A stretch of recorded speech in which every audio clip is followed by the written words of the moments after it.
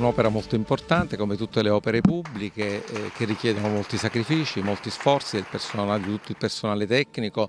eh, dei docenti e soprattutto degli studenti. Gli studenti hanno atteso veramente tantissimo quest'opera, eh, la dedichiamo a loro oggi, così come a tutti i docenti di lettere e filosofia, del Dipartimento di Lettere e Filosofia e al personale tecnico amministrativo che è eh, bibliotecario che eh, oltre ad attendere tanto ha partecipato in prima linea alla, eh, alla realizzazione diciamo, della, della, degli allestimenti che voi oggi vedete. Sono 4.500 metri quadrati, 12 grandi aule, 50 eh, studi, 4 laboratori, una biblioteca degna del, di questo nome, biblioteca di lettere non poteva essere così ampia, anche con un magazzino eh, diciamo, altrettanto ampio che serve a mantenere anche dei, in un certo modo, quindi con tutti i criteri di, di sicurezza, i testi più preziosi. Sono tanti anni che aspettiamo di trasferirci in questa palazzina, ci sono state varie traversie come forse saprete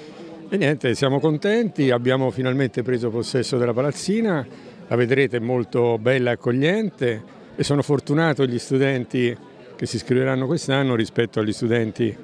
del passato, insomma, che hanno un po' sofferto anche loro, insomma, abbiamo sofferto un po' tutti, ma tutto sommato gli studenti non ci hanno mai abbandonato, nel senso che sono sempre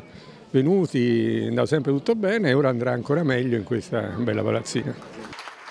L'Università di Cassino si arricchisce di questa nuova moderna struttura dove si trasferisce il Dipartimento di Lettere. Era attesa da anni ma finalmente siamo riusciti ad ottenere questo grande risultato. Eh, questa è la dimostrazione dell'impegno che è avvenuto soprattutto da parte delle istituzioni universitarie, ma anche un arricchimento della città di Cassino in senso lato, portare degli, degli altri studenti in questa città, avere delle strutture confortevoli e moderne significa avere un'università al passo coi tempi, ma anche una città al passo coi tempi.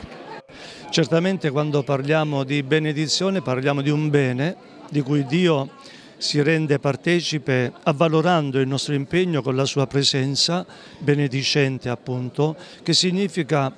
una vicinanza di Dio a tutto quell'ingegno umano che promuove una crescita, promuove un processo quale quello accademico di grande valore per Cassino e il suo territorio e tutti coloro che qui convengono e convergono anche dall'estero come studenti, come iscritti. Dunque questo momento di crescita del polo universitario è qualcosa di molto bello e gratificante, significa non solo un'approvazione di tutta una storia dell'Ateneo, ma un ulteriore sviluppo e un'ulteriore crescita al fine di potenziare quello che già accade, quello che già si svolge, ma anche favorire un ulteriore accesso nei servizi e nell'offerta formativa per i tanti che qui possono trovare davvero un punto e un polo molto qualificato, anche grazie a questa inaugurazione di cui oggi siamo tutti grati a chi si è impegnato a realizzarla e soddisfatti per il risultato raggiunto.